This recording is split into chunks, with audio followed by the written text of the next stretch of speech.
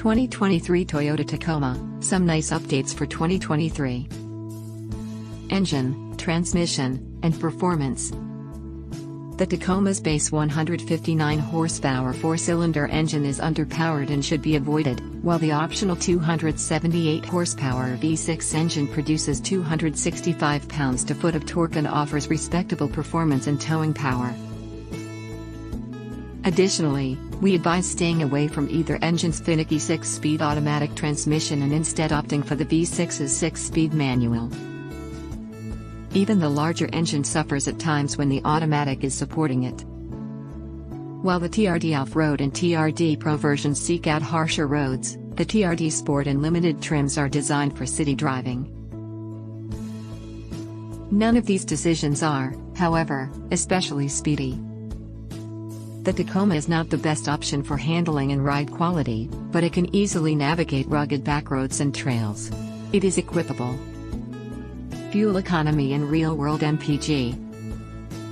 Although the EPA rates the V6 Tacoma's fuel economy as being in the center of the pack, in our real-world highway tests, it performs less well than more efficient rivals. The V6 manual transmission has the worst fuel economy, but it's also much more enjoyable to drive. In our actual fuel economy test, the Tacoma's highway estimate of 23 miles per gallon was matched by the vehicle. However, this was 5 miles per gallon less than the diesel GMC Canyon and Honda Ridgeline. Interior, comfort, and cargo. It's admirable to be true to your roots, but the Tacoma's cabin doesn't benefit from this strategy. The materials and utilitarian design are from a different time, the recent past. Hard plastics and simple materials are used liberally in even the highest trim levels. The Tacoma does, however, now feature a power adjustable driver's seat. Still, the Tacoma is known for its small spaces. The Tacoma has a little amount of storage space inside, and the crew cab we tested could only fit 9 carry-on bags in the rear seat. There aren't many functional storage cubbies or bins, other from the bin on the center console. Infotainment and connectivity.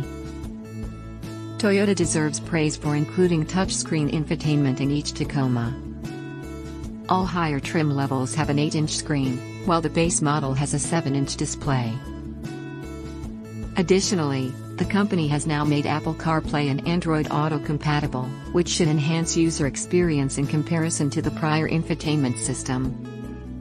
Safety and driver assistance features. Despite having below average crash test results, the Tacoma has the most common driver aid features in its class. Key safety features include standard forward collision warning and automated emergency braking, standard lane departure warning, standard adaptive cruise control.